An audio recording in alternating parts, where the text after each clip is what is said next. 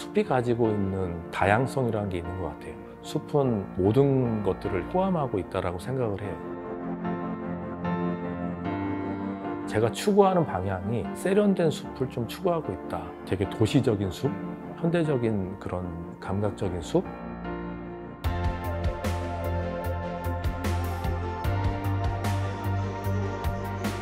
숲과 나무로 영혼을 이루하는 숲의 아가 정영한 작가입니다.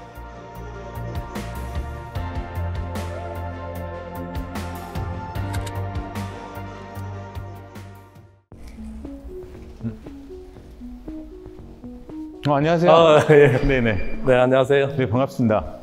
반갑습니다. 아, 네. 오래간만에 뵙네요. 네, 그러게요. 아, 드디어 여기 작업실에. 아, 환영해요. 여기는 오신 지가 얼마나 되신 거야? 어, 8월에 입주했는데요. 아, 그래서 그런가 좀 깔끔한데? 이 공간이 공장형 아파트 뭐 이런 건물인데 이 공간을 택했던 이유는 일단 층고가 너무 높아서 네. 큰 작업하기에 아주 용이합니다. 한몇 미터 정도 돼요? 여기가 지금 5.6m 정도 아, 돼요. 엄청 높네. 네, 5.6m가 되니까 개방감이 있기 때문에 큰 작업 했을 때 그 스케일이나 이런 것들이 작가가 계획했던 감이 오는 거죠. 오, 지금 보니까 이거 가벽인가요? 아, 이 가벽은 실은 너무나 뻥 뚫려 있으니까 가벽을 세워가지고 그 안쪽에는 수장고하고 겉은 하얗게 아트월처럼 만들어서 작품도 걸어놓고 트랜스폼입니다. 아, 그러니까 이게 좀 옮길 수 있는. 아주 자유롭게 옮길 수 있고 진짜 갤러리처럼 구조를 만들 수도 있고 그거 좋더라고요. 여기 차도 바로 들을 수 있고. 네네 제일 좋은 장점이 운송팀에서 너무 좋아하세요. 그러니까. 작품을 입차하고 그다음에 하차하는 상황에서 바로 문 앞에서 이제 할 수 있기 때문에 이 보면 지금 네. 건물이 커서 그런데 네. 이게 사이즈가 좀 큰 작업 같은데 다들 펼쳐놓은 게. 어, 내년 전시가 최소 100호부터 시작해요. 음. 100호 이상에서 지금 600호까지 걸릴 것 같고 아. 그래서 이거는 150호 작업해 놓은 거고 그러니까 거의 지금 대작들 위주로 네. 지금 작업을 하고 있는데 네. 그런 이유가 있나요? 실은 작품을 작게도 해도 되고 뭐 예전에 중세 시대 때 세미라라 그러죠. 뭐 그렇게도 마이크로화처럼 할 수도 있는데 크게 했을 때 제가 보여드리고자 하는 작품에 대한 여러 좋은 느낌들이 전달이 좀 더 잘 되는 것 같아요. 음. 그리고 더 웅장하고 그렇죠, 그렇죠. 그 웅장함 속에 제가 자연을 그 대하는 그 어떤 표현의 기호 같은 것들이 아주 세밀하게 표현이 됐을 때 그 반전의 효과가 나오거든요. 작품 사이즈는 큰데 되게 미세하게 꼼꼼히 작업한 것들이 역으로 보여지기 때문에 이 작가가 이 작품을 해왔을 때 그 과정들이 그 안에 녹여져 있잖아요. 이제 그런 것들을 좀 봐주셨으면 해요. 그러니까 작가님 지금 이게 우리가 보면 늘 알고 있는 그 푸른 숲 같은 네. 시리즈 맞죠? 지금 앞에 있는 작품이 음. classic blue.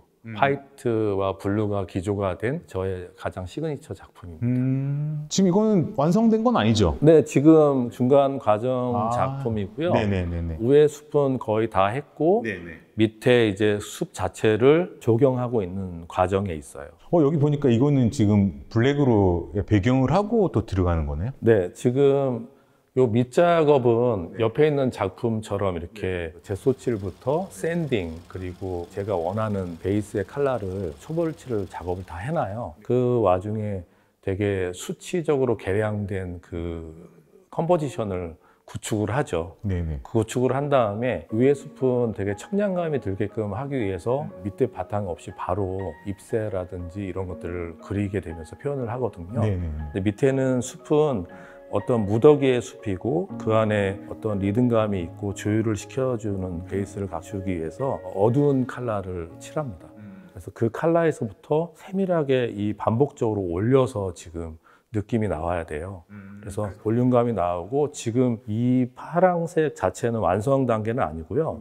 여기에서도 한 다섯 여섯 단계가 계속 더 아, 반복이 더, 더 돼서 쌓여서 올라가야. 됩니다. 그러니까 네. 이 여기는 약간 청량감 있는 어떤 그런 네. 느낌이 나온 다음에 사실 여기는 좀 더 이제 깊이감, 약간 좀 동양화적인 느낌도 좀 있는 것 같아요. 네, 약간 좀 중후하게 여기는 이 제가 이제 숲을 가드닝 한다라고 표현을 하는데요. 음. 제 나름대로는 그 조경을 하는 거잖아요. 아, 예. 예. 한땀 한 땀 이제 붓질을 하면서 숲을 이제 그려 나가게 되는데 이게 다 그려졌을 때는 요 바로 옆에 뒤에 보이는 그 클래식 블루가 돼요. 아, 그렇지. 이렇게 네, 완성돼 네, 가지고. 이렇게 되는데 그렇게 청량감이 나오는 상황의 그림이 공중에 부유하게끔 돼 있어요. 그래서 여백이 강조가 되면서도 숲과 나무가 표현이 되는 거거든요. 그래서 더 동양화적인 네, 느낌이 좀 약간 그런 느낌들을 많이 받 으시는 것 같아요. 그래서 어떤 분들은 작품이 판화 같다고도 하시고 아 그리고 어떤 분들은 되게 생각이 많아지는 문이나 같다라고도 음. 하시고 그래서 이 흰색의 바탕이 청아 백자 위에 그려진 그 산수와 같은 그것이 모던하게 현대적으로 재해석된 그런 풍경처럼 보인다라고 말씀들을 많이 해주시죠. 보면 이제 그림자들 있잖아요. 이제 그림자 전혀 이제 그런 게 없다 보니까 더 동양화적인 느낌 좀 드는 것 같기도 하고 딱 떨어진 그 파나 같은 느낌도 드는 것 같고. 네네. 단순함이라는 것 자체도 좋은 조형적인 디자인 같아요. 그러니까 이 안에서는 상당히 무수히 많은 복잡함이 있거든요. 그렇죠. 네. 붓질의 흔적이 있고 그 붓질의 흔적이 단적으로는 작가의 흔적이기도 하고 근데 이것이 오롯이 이 안에 있는 느낌과 배경과의 단절돼 보이는 그런 어떤 형상이라는 게 있잖아요. 그런 걸로 인해서 조금 더 세련된 숲으로 바뀌어지는 것 같아요.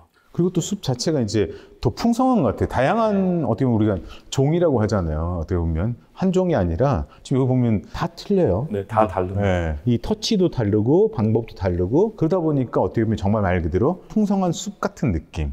왜 그런 느낌이 더 오히려 많이 드냐면 화렵수처럼 되게 풍성한 나무도 있고 음, 음, 침엽수와 같은 날카로운 나무도 있거든요. 그것이 서로 이렇게 상호 보완을 해주는 것 같아요.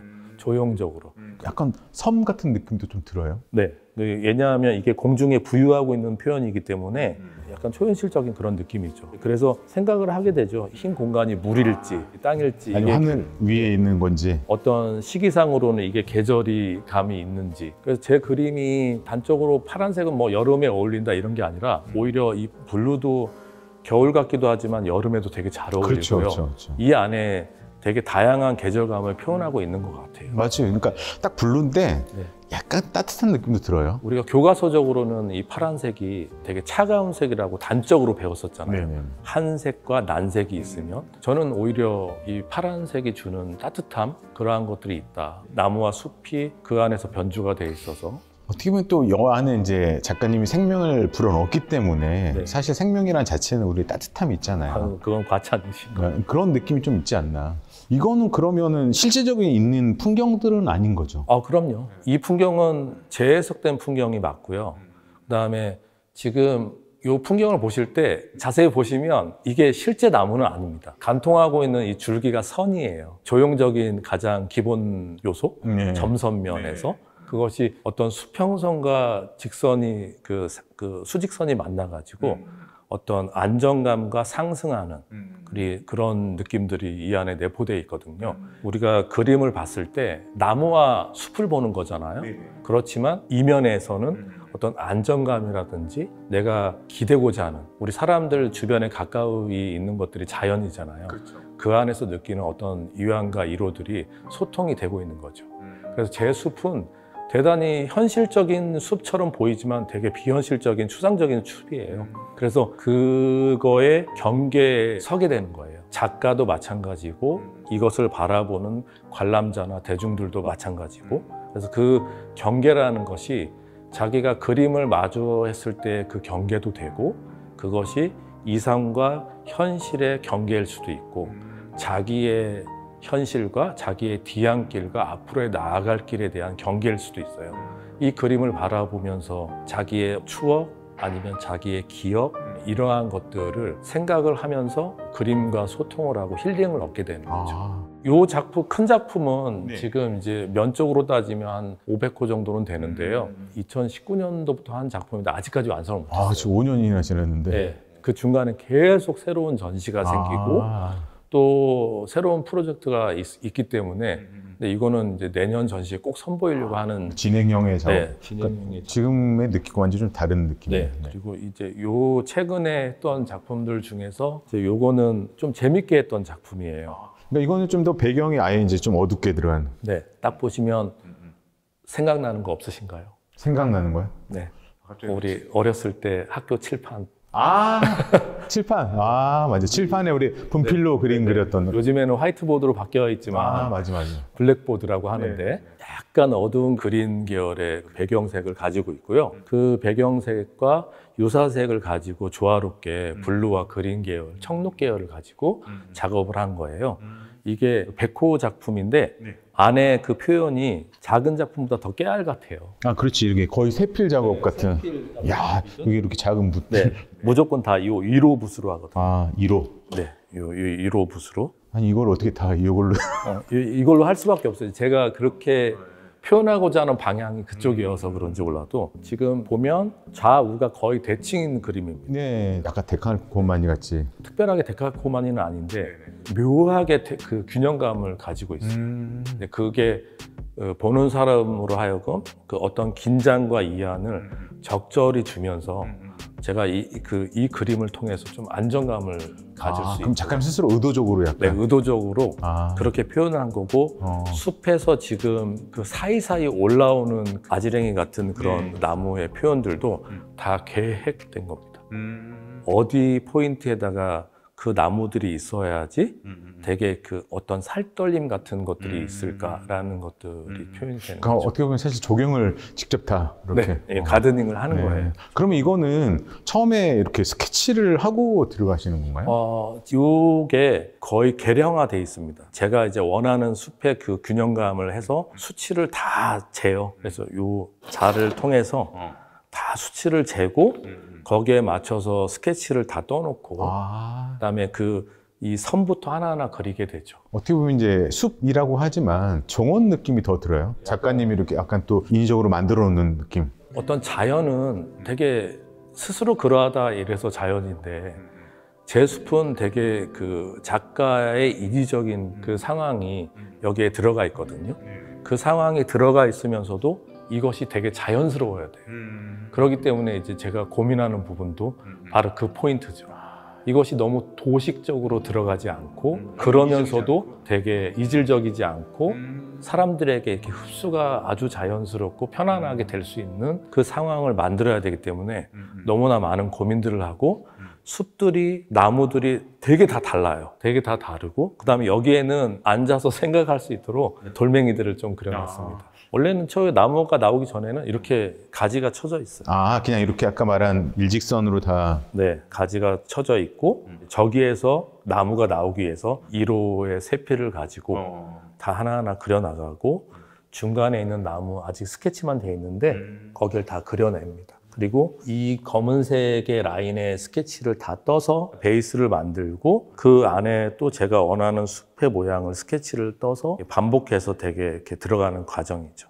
아, 상당히 그러니까 어떻게 보면은 단번에 나오는 건 아니네요. 네, 노동 지- 집약적이에요. 아크릴이라는 특성이 물과 희석이 되기는 재료이기 때문에 어떻게 보면 되게 얇은 재료이기도 해요. 근데 제가 원하는 표현되는 숲은 되게 그 진중한 숲이거든요. 뭔가 안에 꽉 차 있고 덩어리도 많아지고 그 안에 작가의 표현이 수도하는 구도자와 같은 그런 한 땀 한 땀 하는 것들을 보여드리고 싶어요. 그러면 이 1호 작업 전에는 어떤 작업을 하셨던 거예요? 어, 뭐 추상도 많이 했고요. 추상. 네네. 그 대학교 과정 내에서 많이 했던 게 메타포 자체가 자연이었어요. 자연의 생성, 성장, 소멸. 이것을 구상과 추상으로 아우르게 그렸던 것 같고, 그걸 표현하기 위한 더한 방법으로 어떤 재료 기법, 돌, 시멘트, 여러 가지 것들을 섞어서 이제 추상으로도 하기도 거의 하고. 자연 재료를 가지고. 네네 그렇게도 했었어요.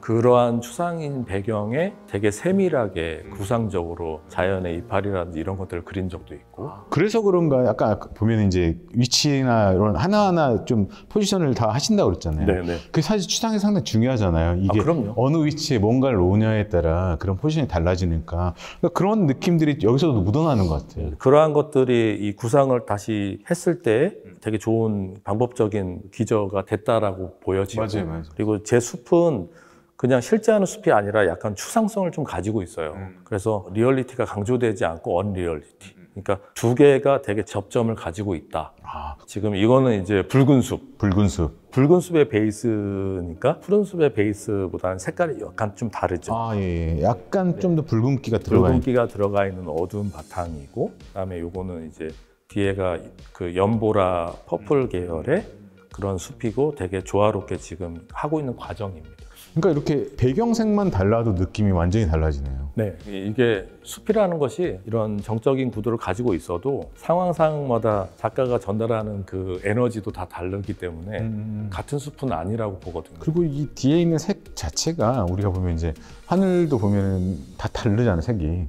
뭐 계절마다 틀리고 감정마다 틀리고 시간대마다 틀린 것처럼 네.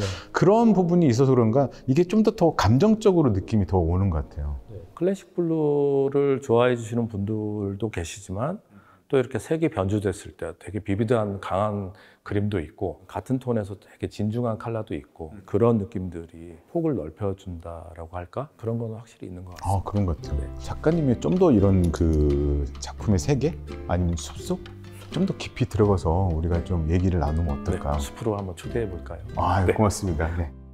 2019년도 그 청주 공예 비엔날레 거기에 초대 작가가 됐을 때 5, 6개월 동안에 거의 잠을 안 자다시피 해서 마지막 그 작품 온송에 가는 날